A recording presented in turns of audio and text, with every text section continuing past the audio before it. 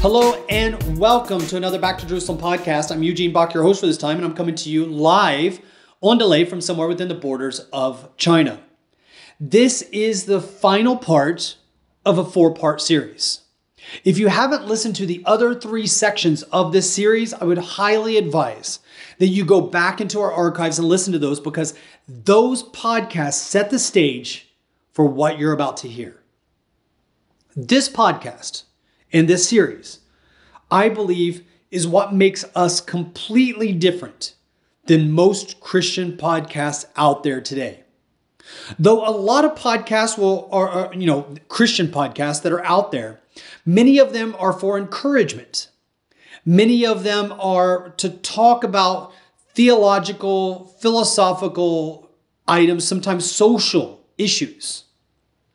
This podcast is a little bit of a data dump where I share things that you may not hear in other places, but they can be verified.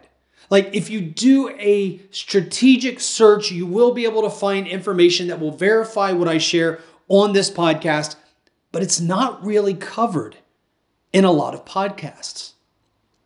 What makes us different is that, you know, to our discredit, we don't put a lot of effort into production. In fact, no effort. I have my mobile phone right now setting on a table in a cabin in the mountains of northern Sweden. I don't have one of those sexy microphones that you often see in podcast videos, though I do have sexy microphone envy. I would like to have a really cool microphone to do my podcast because everybody else has one.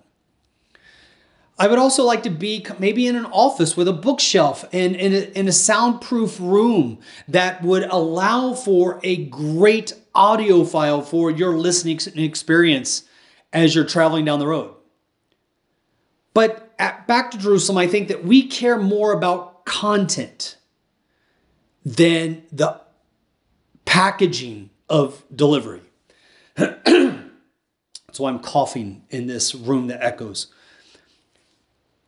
I do this podcast no matter where I'm at, traveling with this phone to give direct field reports to our listeners, people that are praying for us, people that are supporting us, people that stand behind the Back to Jerusalem Chinese evangelists that are serving in some of the roughest areas, most unreached areas in the world. And in order to provide this kind of podcast, we put a lot of effort into the research and not so much into the packaging. And when we first started this podcast many years ago, there there really weren't that many podcasts to compete. Now it seems like everybody has a podcast. And we are so thankful for our listeners who continue to come back over and over again because it's information like this four-part series that we feel is extremely important to get out there. This series was really started when I met in Ningbo with Pastor Amos. Pastor Amos, is, which is not his real name, um, is a pastor in the Underground House Church, but unlike most pastors or almost any pastors that I know in the Underground House Church, he's also a pastor with the Three Self Government Church. And he sat down with me in Ningbo, not really Ningbo, but I, I use Ningbo as a place so that you can kind of place him a little bit. It's in northeast China, but it's not the city of Ningbo. But I use Ningbo in order to help uh, his security. So I changed the name of the city and I changed his name in order to protect his security. And uh, when I met with him, he came into my hotel wearing a hat, dark sunglasses, and a mask to cover his face as he, you know, traversed all through these street cameras, which are everywhere in China. And he broke down China's five year plan to infiltrate and change Christianity from inside. China has advertised this. So, what I'm saying is not a conspiracy theory. China's advertised this. You can go onto our links, you can go to our website where we talk about this five year plan and click on the actual government links that talk about the Chinification of Christianity or the Sinanization of Christianity, which means they have a goal in China to make Christianity more Chinese. But when you dig deeper into it, you find that actually they don't want to make it more Chinese at all. They want to make it communist. And so China has been working very hard to build a one world church or a one church of China, as they called it. And in this attempt to change Christianity, one of the things that they're doing is changing the Bible. This is something that has been a big part of what they've been focused on for quite a while. Changing the Bible, cranking out pastors and evangelists and, and ministers that graduate from the uh, Chinese theological seminaries, and to even create a, an exhibition or a museum, if you will, Christian museum inside of China, where those three things alone are they're a part of their effort to change Christianity. So they're changing the Bible. One of the things that I shared in an early pod, earlier podcast was the story of the woman who was caught in adultery. We all know the story from the Bible where Jesus tells anybody that ha- is without sin to cast the first stone, and one by one, those that were accusing the woman of adultery leave. And then he asks the woman, Where are your accusers? And she says, I have none. And he says, Neither will I accuse you. Go and sin no more. And this is a story that illustrates the, the love, the grace, the mercy, the forgiveness of Jesus. But when you read the Chinese version, the Communist Party version, the reinterpretation of this story for the Chinese New Bible, this woman was stoned to death by Jesus. This is a part of the Chinification of Christianity to change the Bible so that it becomes more socialist or more socialist friendly.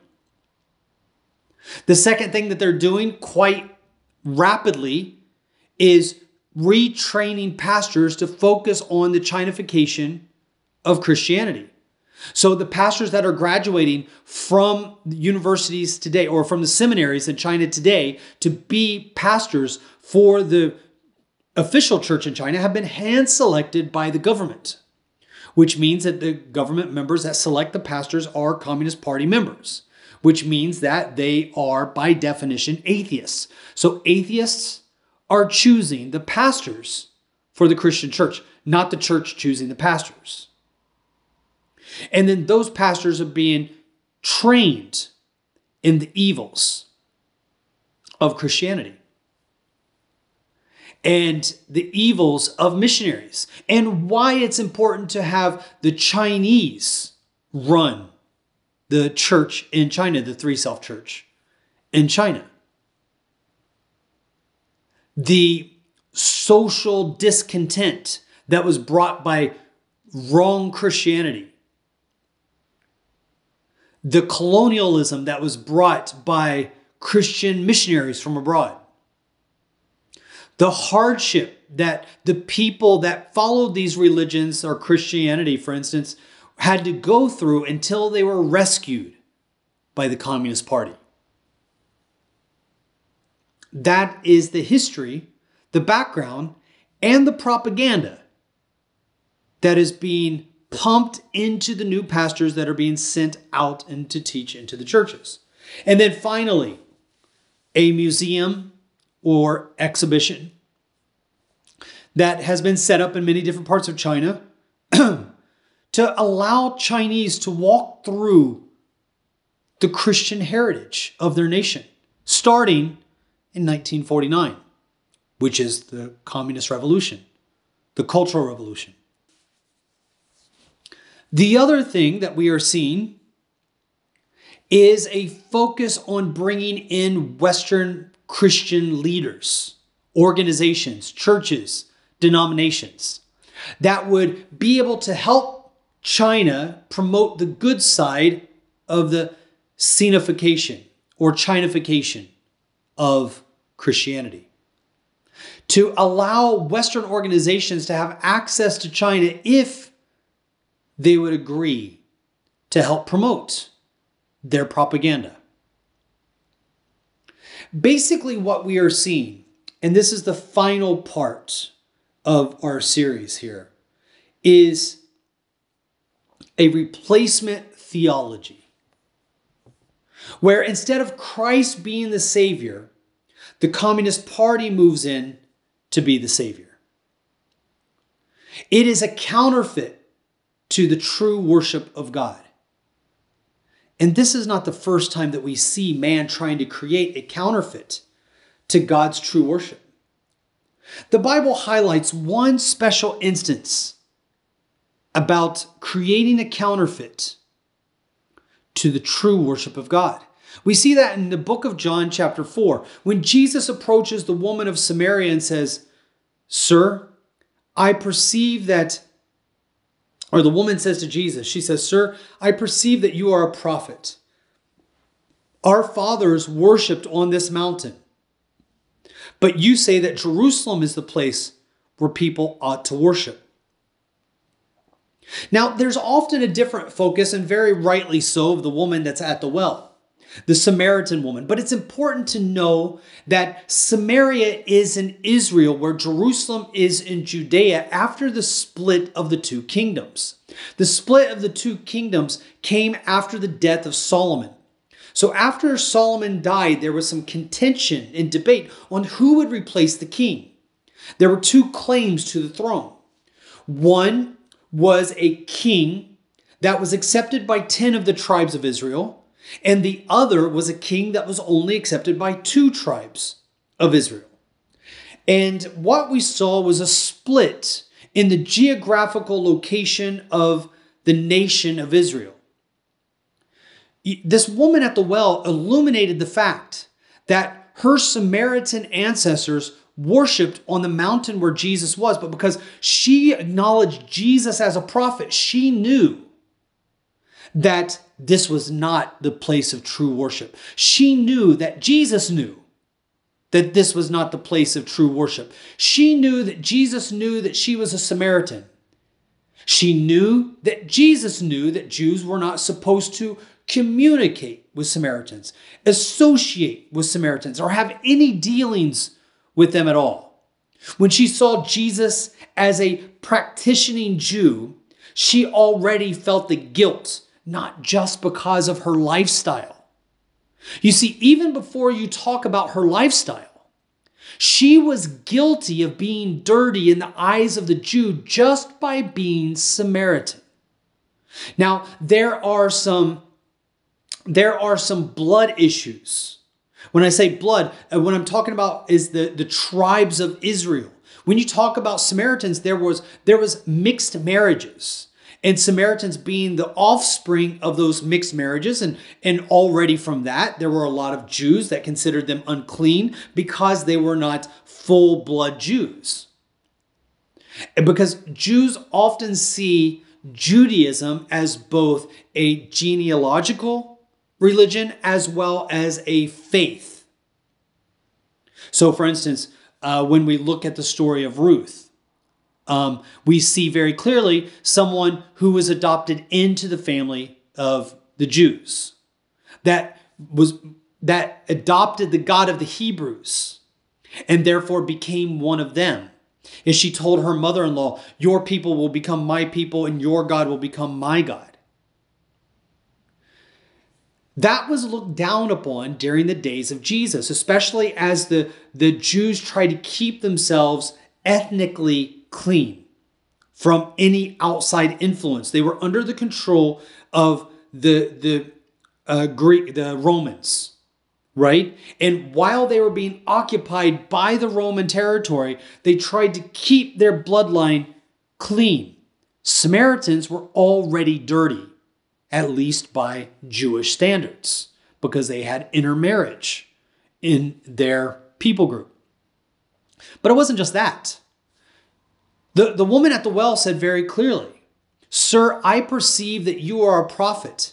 Our fathers worshipped on this mountain, but you say that in Jerusalem is the place where the people ought to worship. John chapter 4, verses 19 and 20, and I read from the ESV. This is so imperative to understand what is taking place in China today. How does it relate? Watch this. The problem with Samaria arose after the death of King Solomon, right? So when King Solomon died, so King David was the one who brought in, ushered in the kingdom of Israel.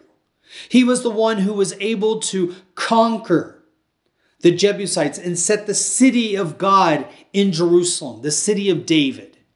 So he was the one to finally bring about the full completion of God's kingdom when he ran out the Jebusites from Jerusalem.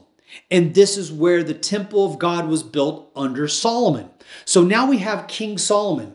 And this is one of the most powerful kingdoms in the history of the Israeli people. And what takes place next is very unfortunate because when Solomon dies, one of his sons, Rehoboam, was set to become the next king. But Jeroboam, his other son, said, No, I'm the real king. And he led a revolt. And there were 10 tribes that signed on that Jeroboam was the true king of Israel. But Benjamin and Judah, the tribes of Benjamin and the tribes of Judah, said, No, Jeroboam is not our king after Solomon. Rehoboam is. Unfortunately, King Jeroboam and the 10 tribes of Israel had the land to the north. And Jerusalem was there in the land of Judah and Benjamin. So once the two kingdoms split, Jerusalem ended up on the wrong side of the border for the kingdom of Israel. Now, if the people of Israel wanted to go for their feast that God told them to keep, to go and do the sacrifices at the temple that God told them to do, now King Jeroboam is going to have a problem. Because what king could allow his all of his his his people to leave his kingdom to go serve the one true God. And the one true God can only be worshiped in the land of the opposing king, which would make many people think if the one true God is in that land with that king, isn't that the true king? So, what happened was King Jeroboam and the 10 tribes of Israel set up an alternative temple. The alternative temple was counterfeit to the temple that God had instructed to be built. It was an alternative so that the people wouldn't have to leave Israel. They could go and do their sacrifices. They built they had their own priests, they had their own ceremonies. All of the feasts were celebrated not in Jerusalem, but in northern Israel. In many ways, this is exactly what China is doing. They realize that if we are if we are the leaders of the Chinese people, but they worship and pray to another god instead of the Communist Party, we have competition. And the Chinese, given the choice, will choose God over the Communist Party. So we have to create a counterfeit, a place where the people can go to worship and we can tell them that it's okay. We can tell them that this is the one true worship. This is the place how you're supposed to worship God. This is the Bible you're supposed to read. I know that it's different than the rest of the, the Bible that has been in place for 2,000 years, but our Bible is the one you're supposed to read. I know that your leaders have been chosen by God in the past, but today they're chosen by the Communist Party. I know that you went to praise God in places that were set aside for worship, but now the Communist Party will dictate where you will go.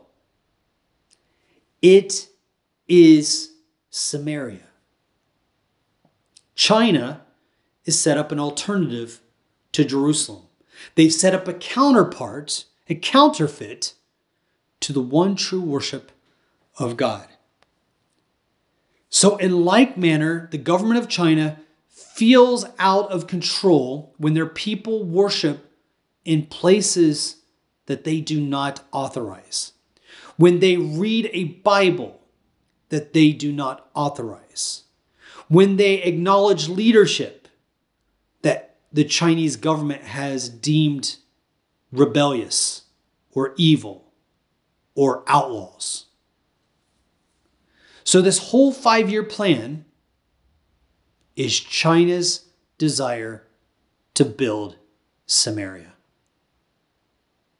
I hope that makes sense. I want to thank you so much for joining us for another Back to Jerusalem podcast. Again, I'm Eugene Bach, your host for this time, coming to you live on delay from somewhere within the borders of Sweden. God bless.